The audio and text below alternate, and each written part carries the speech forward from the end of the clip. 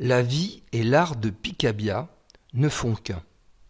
On ne peut dissocier ses célèbres boutades et ses écrits polémiques de ses ruptures perpétuelles au sein de sa production artistique, ni sa passion des femmes, des voitures de luxe et de la vie mondaine, de sa formidable envie de peindre, même s'il professe que tout tableau doit être absurde et inutile.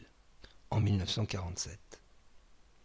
Il incarne mieux que quiconque et bien au-delà de sa période historique l'esprit dadaïste qui est né conjointement à Zurich et à New York en 1916. Installé dans le Midi à Mougins dès 1925, il réalise Les Monstres, un ensemble de peintures représentant des couples d'amoureux exprimant théâtralement leur passion. Souvent inspirés de cartes postales sentimentales des années 20, ces tableaux sont peints au ripolin, dans des tons artificiels et dissonants. Idylle est une huile sur carton qui appartient à cette série.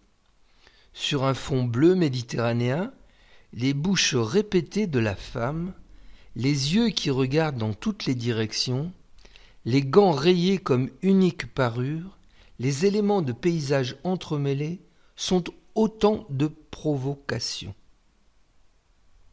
La couleur est brossée en petites touches hâtives, les teintes vert bouteille, rose pourpre, ocre jaune et bleu cyane forment des accords dissonants. La superposition des figures annonce les futures transparences que l'artiste produira entre 1928 et 1933. Ce tableau idylle a appartenu au couturier et grand collectionneur Jacques Doucet et a été encadré par Pierre Legrain, décorateur renommé de l'époque et auteur de célèbres reliures.